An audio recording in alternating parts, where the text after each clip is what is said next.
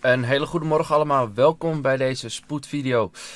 Ja, zoals je waarschijnlijk hebt meegekregen in de Discord of in andere kanalen of op het nieuws of weet ik veel wat, is Oekraïne nu Rusland binnengevallen. Diverse aanslagen zijn al gepleegd en Poetin dreigt met leg je wapens neer.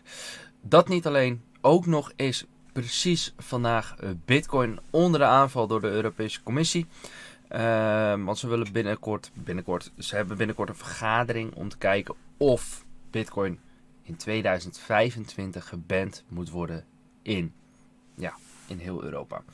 Dus er is een een en ander aan de hand op de markt. Um, gaat vandaag, vooral vandaag, gaat vandaag de angst, het overnemen van alle technische indicatoren. Dat is wat we nu gaan zien. Normaal zie je inderdaad, FOMO neemt ook de charts over. Hè? Maakt niet uit of je beursdivergentie ziet. Het knalt gewoon door, door, door omhoog. Ja, nou zitten we in een beermarkt. We zien wel bullish. Maar is dat voldoende om hier een baan te creëren? We gaan vandaag in de charts duiken. Ik ga je vandaag even op basis van de technische, maar natuurlijk ook fundamentele uh, plaatjes. En dan heb ik het over nieuws. Gaan wij het een en ander bespreken. Goed, laten we lekker niet langer wachten. En laten we gewoon switchen naar de charts.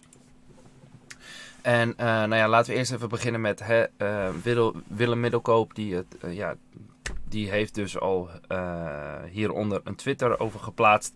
Over hè, EU on track to ban a Bitcoin report. En je ziet eigenlijk al diverse dingen in de reacties. Ja, wat best logisch is.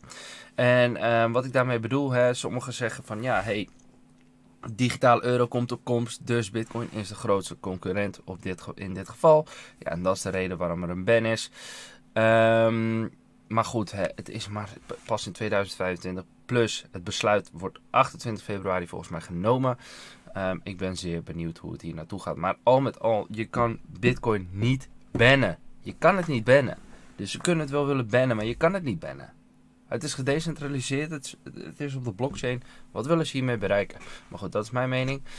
Um, en dat niet alleen. Poetin begint militaire actie in Oekraïne en waarschuwt leg wapens neer.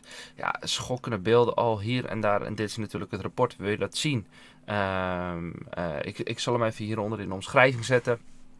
En ook al de explosieve ja, in uh, Kiev. Uh, die al gaande zijn. Ja, de, luchtalarmen die afgaan. Ja, dit is niet top. Dit is echt niet top. Dus ik ga je vandaag meenemen in het technische plaatje waar we naar kijken.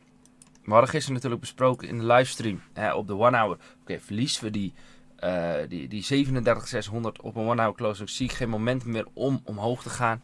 Nou, en al met al, we zouden dus nog die drop krijgen. Ik gaf toen ook aan in de livestream, oké, okay, lagere tijd. Ik vraag me af of dit de 4 is, of dat dit de 4 is en al klaar is en dat we vanaf hier dus omhoog gaan. Daar zat ik dus mee. Nou, we hebben dus toch die drop gekregen, dus we hebben nu antwoord gekregen. Maar gezien de hele markt en omstandigheden, alles erop en eraan, uh, gezien dat we hier ook een impuls naar beneden hebben, 1, 2, 3, 4, 5, zo op deze manier, zou je kunnen zeggen dat het klaar is met corrigeren. Wat ik daarmee bedoel te zeggen is, zal het klaar zijn met corrigeren, niet in de beertrend, want zoals we zien is dit een impuls naar beneden. Maar wat ik daarmee bedoel is dat dit misschien de, de wave 1 zou kunnen zijn, dat we nu een wave 2 gaan maken. Nou, die wave 2 zal minimaal 50% moeten zijn. Um, en dan pas weer je 3, 4, 5. Dus hè, we zien nu heel veel angst in de markt. Um, ik gaf het al aan van, nou ja, ik hoop dus die Big Short rond die 41.000 te pakken. Dat zou dus nog misschien kunnen. Um, ik laat me niet verleiden door al dat negatieve nieuws op dit moment. Want op technische aspecten, en ja, dat, ik, ga, ik ga er ook niet op treden op dit moment meer. maar op technische aspecten zie je bijvoorbeeld nu op de 6 uur tijdframe dat je hier een bullish divergentie maakt. Nou, en we hebben hier ook een, bullish divergentie op 6 uur tijdframe. Nog lang niet bevestigd. Ook op 4 uur waar we naar zochten. Op 3 uur waar we naar zochten. Op 2 uur te ver uit elkaar. Daar niet, hier tussen niet. Dus um, er zijn verschillende indicaties aanwezig. Um, wat ik dan ook wil voor bodemvorming op dit moment is dat wij hier waarschijnlijk nog even blijven hangen. Up gaan, dan weer down gaan en dan die 30 minuten bullish divergentie printen. Ja, dat zou misschien een beetje een bodemvorming kunnen geven. Nou, wat zou mijn max maximale target voor nu zijn? Uh, zolang het nog een wave 2 is. Nou, dan kijk ik toch naar die 33.000 uh, ja, 400 ongeveer. Deze blauwe box, de 1, 6 en 8 en de 2 extensie. In deze blauwe box zou nog de ultieme bodem kunnen zijn. Daar moet hij houden. Ehm, dat betekent dus ook, komt hij onder de 33.000, dan kan je dus ook alvast meenemen. Komt hij onder die 33.000, dan is het foute boel. Dan verwacht ik gewoon echt een dikke red flag. Big, big bad nieuws. En ja, dan komt die big bad short al. Ehm, dan hebben we hem niet genomen, maar dan komt hij echt wel die vrijval, ben ik bang. Ehm, en, ja, dat kan gewoon gigantisch lelijk worden. Gigantisch lelijk worden. Goed, zoals we hè, van de week hadden besproken, van de week gisteren, gisteren hadden besproken. Ik ben helemaal hyped, helemaal vol adrenaline. Um, zie je hier tussen op de daily, als we nog een beetje bouncen. Nou nee, je, je ziet hier al een beetje een bullish divergentie ontstaan. Maar voor mijn gevoel kan hij nog wel lager. Dus um, het zou wel een reden kunnen zijn voor een mooie bounce 2. Um, en daarna pas weer verder zakken. Maar al met al, ja, ik zie op dit moment geen positieve signalen. Behalve op de 6 uur en op de 4 uur en op de 3 uur en op de 2 tijdframe. Wat bullish divergenties. Maar zoals net al gezegd, in de FOMO-markt werken de bearish divergenties niet. Want er is te veel FOMO, oftewel fear of missing out. We zitten nu in een bear, bear trend, bearmarkt. Trend is down. Uh, chaos in de markt. Gaat dus nu ook het paniek de overhand nemen. Nou, en daarvoor is deze raad, laatste redmiddel is deze blauwe box. Ik ben zelf ook heel benieuwd. Ik ben namelijk een trader op technische aspecten. Maar ze moeten elkaar wel versterken. Op dit moment is het nieuws zo negatief. Um, dat ik zelf nog wel een stukje hopium hou op basis van de technische aspecten. Goed, het positieve nieuws zou dus zijn als wij hier blijven hangen. En we verliezen niet de bullish divergenties op het 4 uur en 6 uur tijdframe. Zolang we die houden, ja, kunnen wij nog steeds deze wave 2 bounce maken. Zal niet in één keer gaan, dat zal zo gaan, door middel van een A en een B en een C. En ik vermoed dat dat de 40.000 zal gaan testen, dit gedeelte. Om er even liquiditeit op te halen, die blauwe box. Even een week erboven en dan weer naar beneden, zo, zoals we nu hebben uitgetekend. Maar waar ik me ook zorgen om maak, en dat is iets waar we ook rekening mee moeten houden, is de funding rate. Hè, um, ik zie nu de funding rate, uh, nou hier staat hij wel in het negatief, hier negatief, negatief, negatief. Dit vind ik wel heel interessant dat hij hier zegt negatief, want Bitmax is gewoon positief. En als we dan nu ook even naar Bitmax gaan bijvoorbeeld. Hè, en ik kijk nu naar de funding rate over 13 uur. Is gewoon over 13 uur is hij gewoon weer plus 1. Dat is bizar. Dat is echt bizar.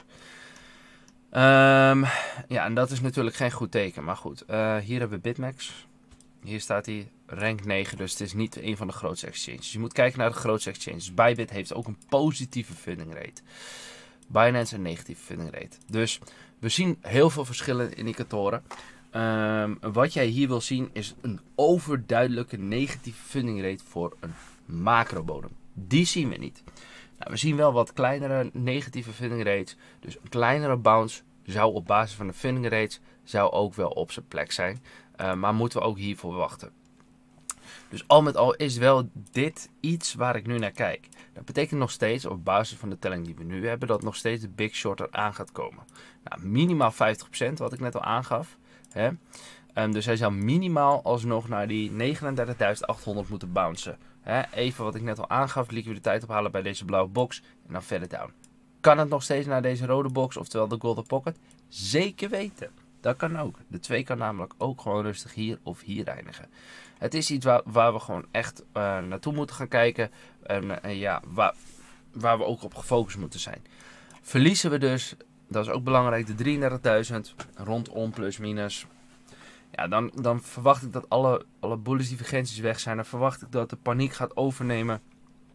En dan verwacht ik letterlijk binnen een paar seconden dat wij uh, verder glijden naar in ieder geval de lows weer. Uh, die wij eerder hebben getest. Ja, denk daarbij aan 29.400 dollar. Hier. En ja, dat is natuurlijk niet echt positief. Niet echt mooi nieuws natuurlijk. Maar dat is dan wel een level waar ik voor nu naar kijk. En dan is de telling anders. Als we hier even een trendbase op loslaten.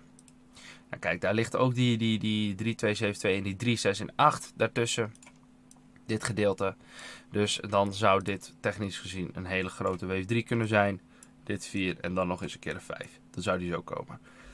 Ongeveer. Niet mijn mainplan, zoals net al gezegd. Mijn mainplan is nu dat we toch rustig gaan bodemen in die blauwbox. En dat we vanaf hier toch langzaam weer een klein beetje opklimmen. Omdat er juist niet zoveel paniek is in de markt. Om nog even wat liquiditeit op te halen. En dan volgende week, of misschien einde van de week, ja, de big bad move naar beneden. Maar goed, gezien alle omstandigheden, gezien de Poetin, gezien uh, de, de Bitcoin ban, durf ik er op dit moment ook geen hand op te leggen. Maar wat ik je wel wil meegeven, is hou dus goed de levels in de gaten van de 33.000. En wanneer kunnen we dus hè, die bull modus switchen? Um, ik denk wanneer die weer 36.300 weet te claimen.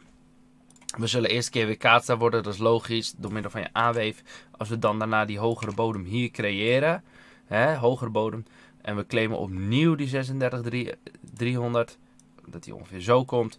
En we claimen hem opnieuw in dit gedeelte hier. Ja, dan verwacht ik dat we dus echt die push kunnen gaan krijgen naar in ieder geval weer 39.800 of misschien zelfs 41.600. Dat is dan waar ik ook voor nu naar kijk. Ik hoop dat je niet te veel in paniek raakt. Um, laat de markt op dit moment zijn ding doen. Wacht op bevestigingen. Hè. Dat is vooral het belangrijkste op dit moment. Of kijk naar de lagere tijdframes waar je weer volume ziet inkomen. Maar wees alsjeblieft voorzichtig. Alsjeblieft. Ga ook niet zomaar in paniek verkopen. Um, werk met stop-losses. Um, dat is ook iets wat ik je mee wil geven. En um, ja, probeer geen vallende messen te vangen. Goed, dankjewel weer voor het kijken. Ik zie jou snel in de volgende video. Hoi hoi.